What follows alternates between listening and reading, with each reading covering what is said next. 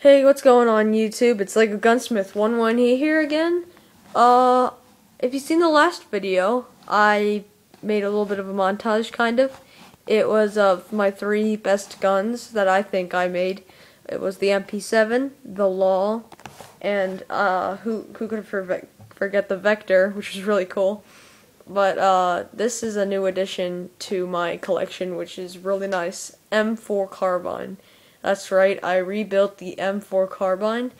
This time I made it a whole lot better with uh, about eh, five attachments. I don't know if you include the mags, but it's really nice. So we'll start out with the gun, and I will grab it. So you can see, uh, barrel, I made it gray. Uh, front sights right there, really nice detail um, just all along the barrel. Picatinny rails. Um, you can see I also made the uh, uh, catch right here. Let you see that. It's on its side, so so I'll put it back where there you go. So there's the catch. Working trigger with a rounded trigger hold. Really cool. Uh, handle grip. I made this gray so it kind of looks like a rubberized uh, grip for comfort. Uh, stock really cool. I'll take that off. That's a really nice stock. I improved my stocks for my M4 carbines like a lot, so that looks really cool. It's adjustable, so you can put to where you want. Um, another thing I've added that you probably guys have all been waiting for, a rubber band powered um, uh, shell ejector right here. Uh, so that's cool, rubber band powered. Yeah, that's really cool. Um, another thing I got would be the uh, clip ejector right here and your unjammer. So that's really cool. There's another look at this part right here.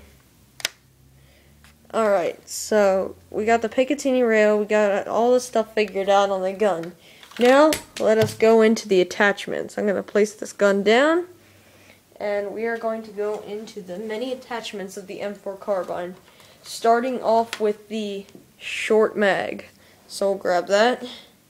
Short mag's really cool. It's got the bullet on top, a standard rifle round like I usually have for my other M4 carbine if you've seen it. So, right here. Alright, so there you go. You got your short mag. You all happy? So there we go. Short magazine go like that. And I have the long magazine, which has uh, another round. See, two rounds. Um, and this one is a little bit tricky to get in, but I used no tape for it whatsoever. All Lego. That's cool. Here, and I'll place this in the back. You can see that. The gun looks pretty sick with the clip in and everything. Take that out. Well, actually, I'll keep it in. So here, we'll keep it in, and we're going to put on the back sight now, which is this cool little back sight. I'll place that on the back. And now I'm going to redirect it so you guys can see the sights, which are really cool. So there you go. There's your sights. Really cool. Uh, different. It's a little bit different from the uh, M4 sights, but it is pretty cool. Like I tried to make it like a little bit of an advanced sight. So well, anyways, moving on. Uh, next up, I have the two other like uh, types of sights, which are the ACOG and the Holo sight, or is known as the holographic sight, and the Modern Warfare's or Battlefield 3. So I'll place the gun down, grab one of those. You can see the ACOG sight has uh, spinning little uh, adjusters for the zoom and stuff. Does not zoom, but still cool for the effect. As you can see right there. It's really cool sight.